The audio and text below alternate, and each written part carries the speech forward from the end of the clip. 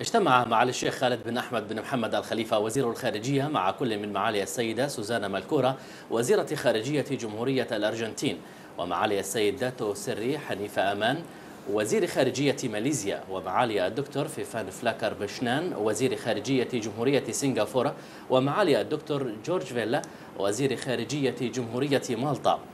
وتم استعراض العلاقات الثنائية وما تشهده من تقدم وآليات دعم وتطوير لهذه العلاقات وتوسيع أوجه التعاون بما يحقق المصالح المشتركة ويعزز التنمية والرخاء ويعمق التنسيق إزاء مختلف القضايا على الساحتين الإقليمية والدولية. كما تطرقت الاجتماعات إلى أهم القضايا المطروحة في اجتماعات الجمعية العامة للأمم المتحدة وتبادل وجهة النظر حيالها.